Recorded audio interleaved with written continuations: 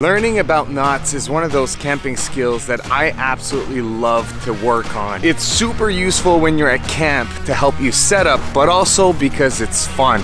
So today I'm gonna share with you five camping knot mistakes that even experienced campers make. The first mistake that a lot of even experienced campers do is they don't know how to make a really quick, easy fix anchor in the event where you want to set up a ridge line or a clothing line, for example.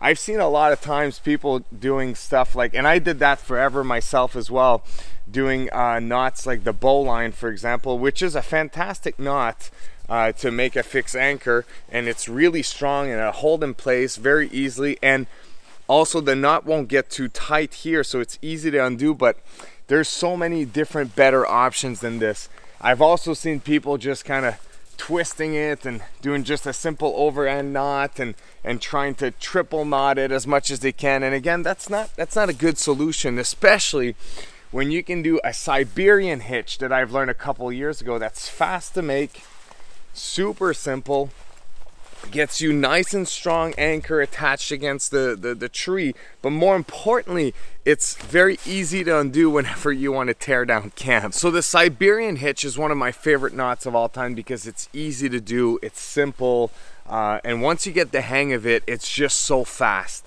Uh, you'll see at first, uh, you might get tangled a little bit when you do it, but just with a couple of practice, you, you're going to be able to, to get around to learning it pretty fast.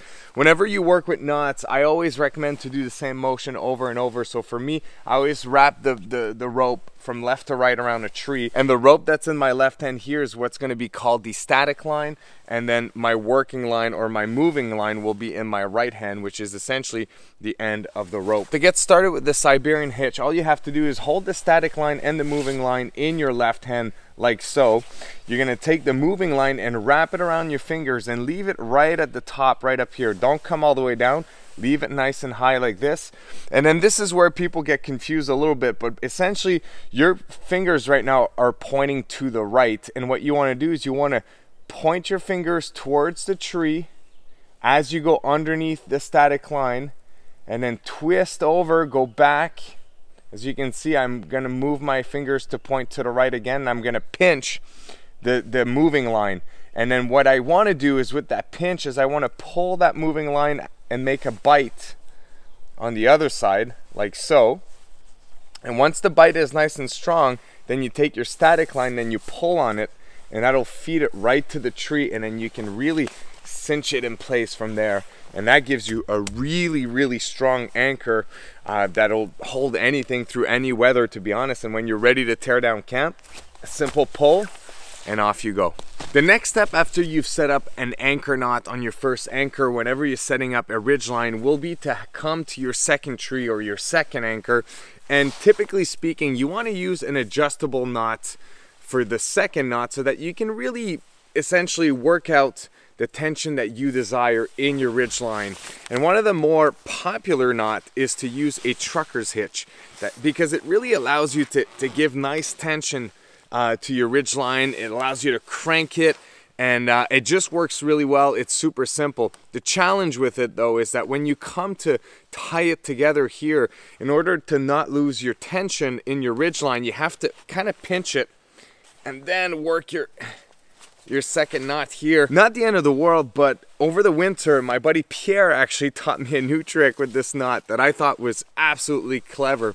So you take your regular trucker's hitch, like so. And instead of feeding it once through the loop, you go right again and you feed it a second time.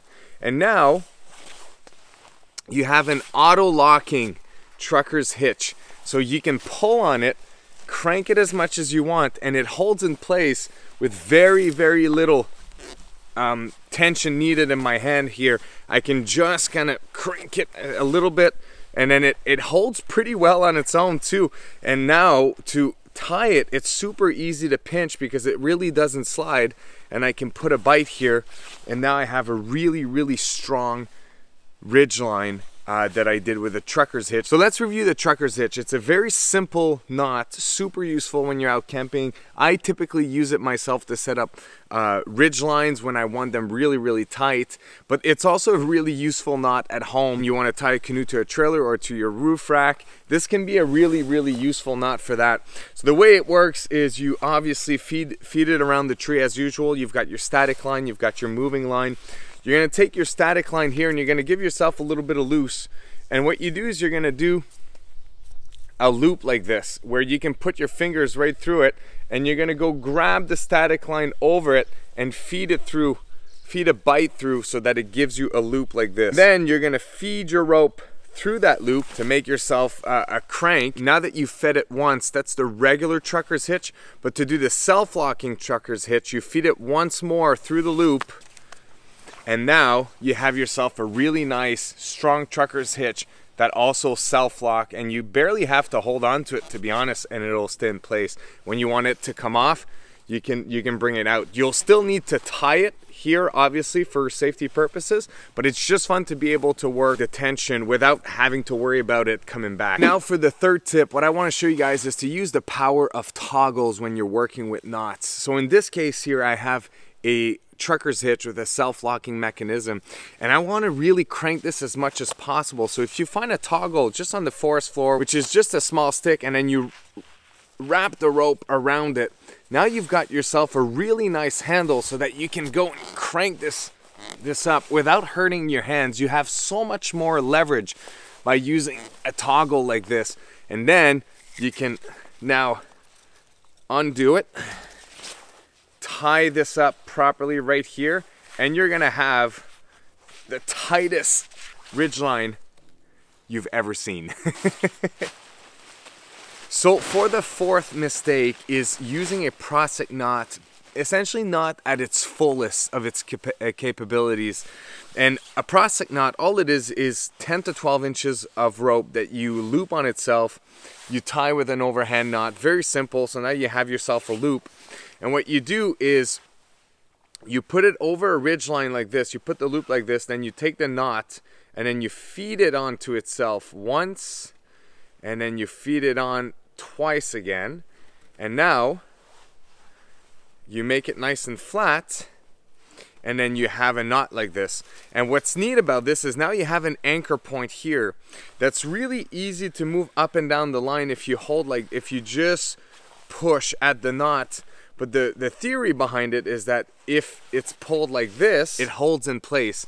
And going along with tip number three, the way you would use this is with the power of a toggle where you put now this anchor through the loop of your tarp use a simple toggle. The toggle trick is one it is one I really wish I would have known earlier. And now you with because of the toggle, you can really make this nice and tight and it'll hold in place really pretty well. Here's the problem though, and I don't know if it's a rope problem or if it's just uh, a double Prusik knot like that is not as strong, is that I find that although it can and will hold a, a decent tension, I still find that it slides.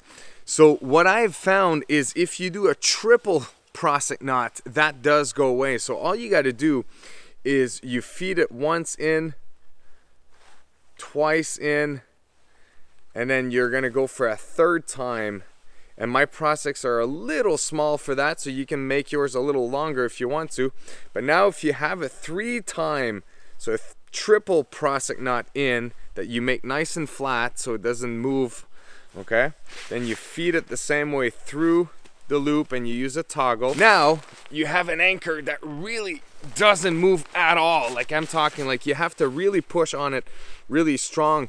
And you would do this on either side of your tarp and now you can adjust it as strong as you want it and it stays in place. The next mistake I see even experienced campers make is to use a bowline knot to attach a guy line to a tarp or to uh, to a tent. Although the bowline is a great little knot and it works really, really well, there's nothing wrong with doing this. It's a bit more of a finicky knot to make, a bit more tricky, but also uh, when you're in the winter time and your hands are cold, it's just, it requires a lot of dexterity.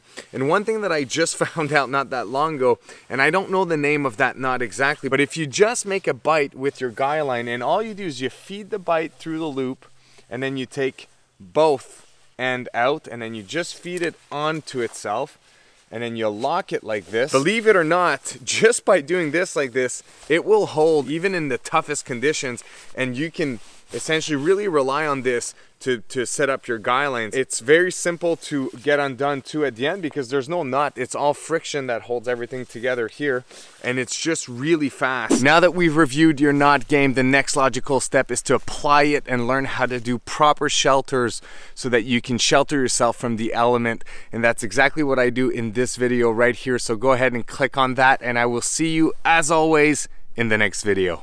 Peace.